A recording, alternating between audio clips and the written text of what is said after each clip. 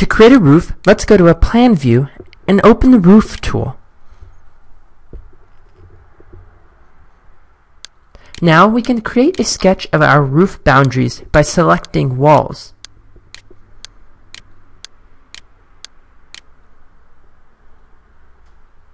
We can select the green check mark to finish our roof. In this dialog, select Yes to attach the walls to the bottom of the roof. In the 3D view, we can see our new roof with default properties. After selecting the roof, we can make simple changes by editing the footprint.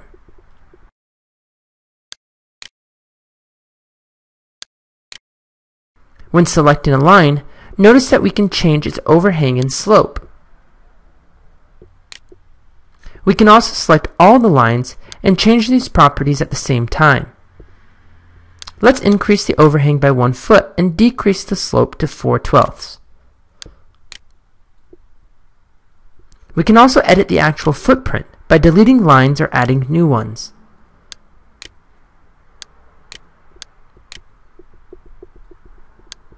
When finished, select the green check mark and our 3D view will reflect these changes. We can also change the roof properties after we have selected it. If the roof is in the wrong place, we can give it a new base constraint.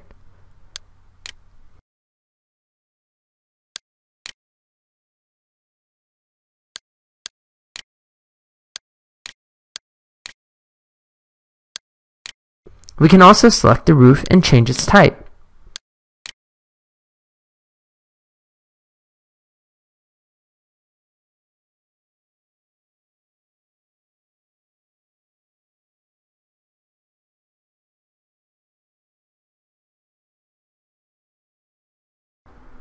Instead of using default properties to create roofs, we can change the slope of the boundary lines, or we can choose not to assign slopes to boundary lines in order to create a wide range of roof shapes. Start by making a flat roof by selecting all the boundary lines and removing their slopes. When finished, let's return to a 3D view. And from here we can see our new flat roof. Once a roof is placed, we can put in voids, openings, or skylights. Edit the roof's footprint and draw the desired shape of the ceiling hole.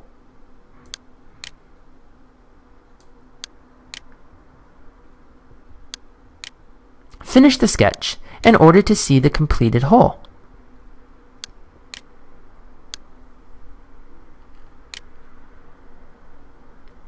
We can also make a void in the ceiling using the vertical opening tool. Select the surface to place the opening, and then sketch the opening.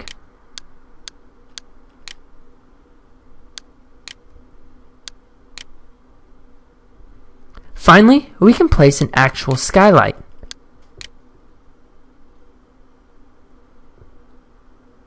If the skylight component is not available, we must load it in from the library.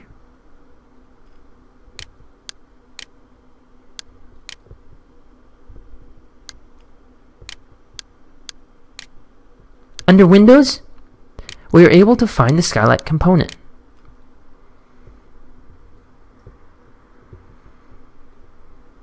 Once the skylight is loaded into the project, we can select that type and place them on the ceiling as if they were windows. Using this method is good because it creates voids and adds the windows and trims all in one step.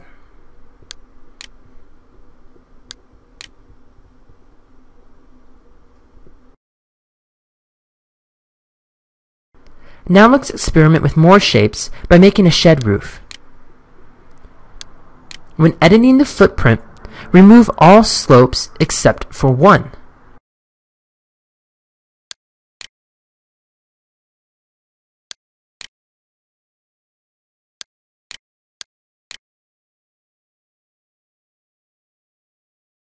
When finished, select the green check mark, and we can return to our 3D view to see our new roof.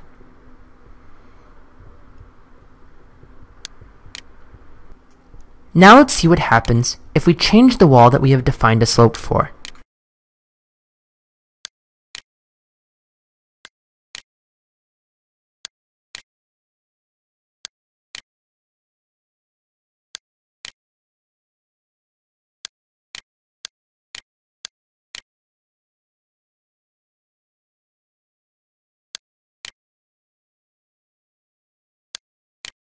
In the 3D view, we can see that whatever edge has been assigned a slope will project that slope in both directions. In this case, this leaves us with a small wall on the south side of the structure. Now let's create another roof shape. By assigning a slope to parallel boundary lines, we can create gables at the ends of the structure.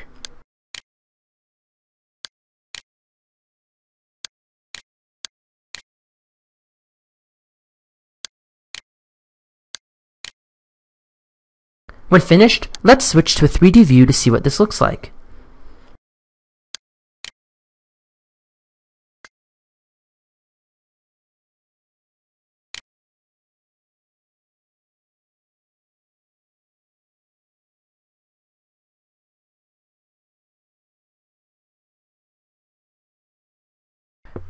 Now let's fine-tune the roof edges. Select the roof and review the construction type properties. We can change the rafter cut or the depth. Let's start by changing the depth. When finished, we will notice that this decreases the depth of the edge of the roof.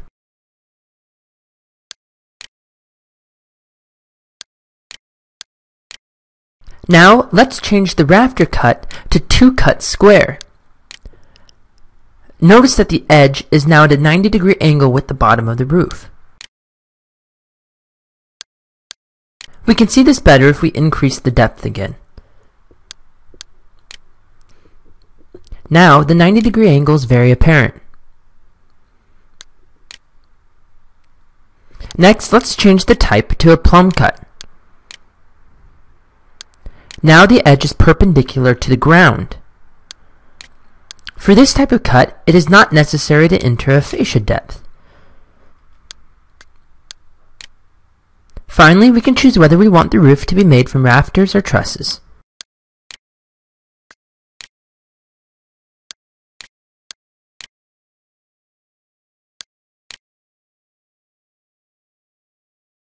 To demonstrate the next feature, let's start by giving two edges different overhang lengths.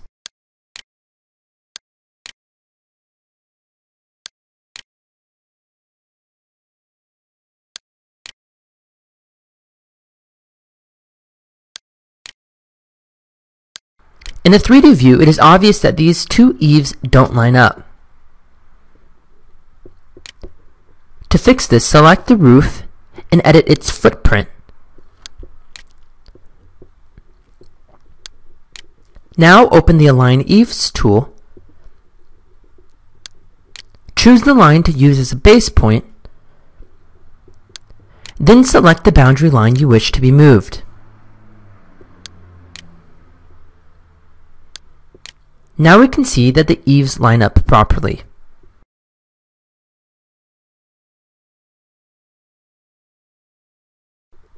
With the Roof tool, we can also do things like add fascias and gutters.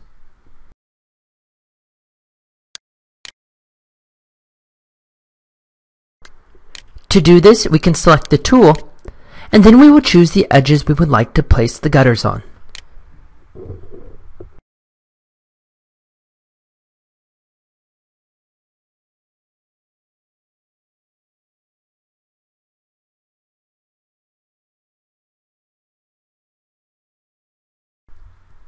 To create a new roof type, we will start by duplicating an existing one. Let's first select the roof and edit the type duplicate it, and give it a new name. Let's make a Spanish tile roof. Now, select the structure. We can now see each layer of the roof and its material. Let's select the finished layer material in order to create our new type. For this example, we will duplicate an existing material. And let's call this new material Spanish tile.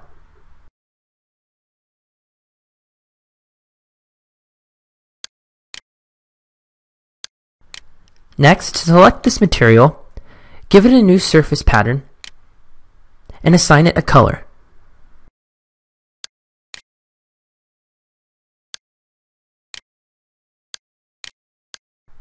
When finished, we can see that our new type has been applied to our model.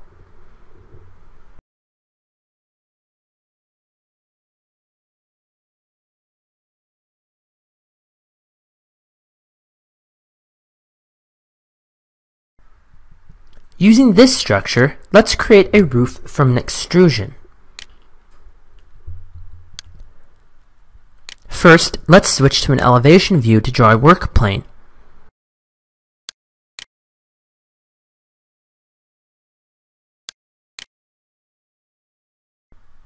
This line symbolizes the edge of a plane that is going into the screen.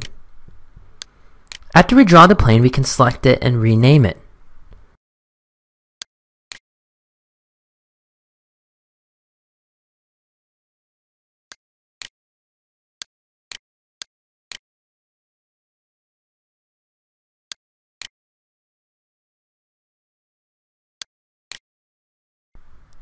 Now let's open the Roof from Extrusion tool.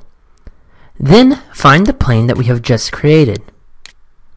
This will allow us to draw on the plane.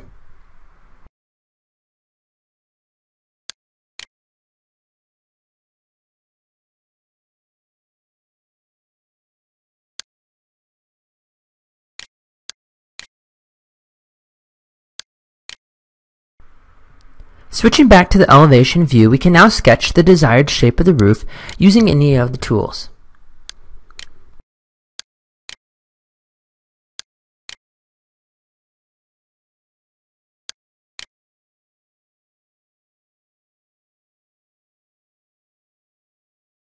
When finished, we can select the green check mark to complete our sketch.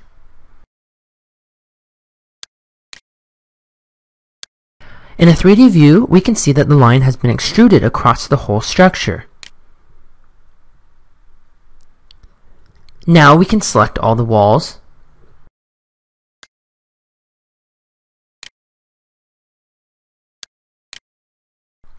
and choose to attach them to the new roof.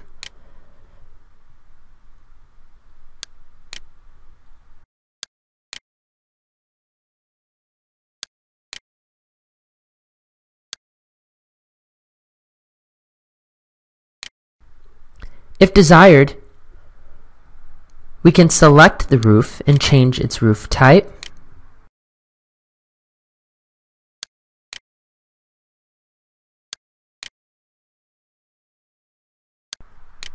Or we can select it and choose to edit its profile.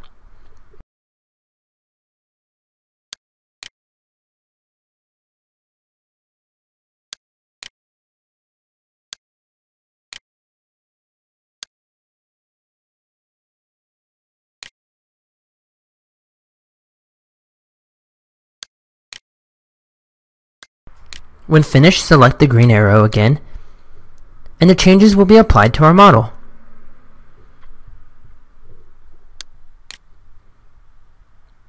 Finally, we can select the roof, and we can extend the boundaries if necessary.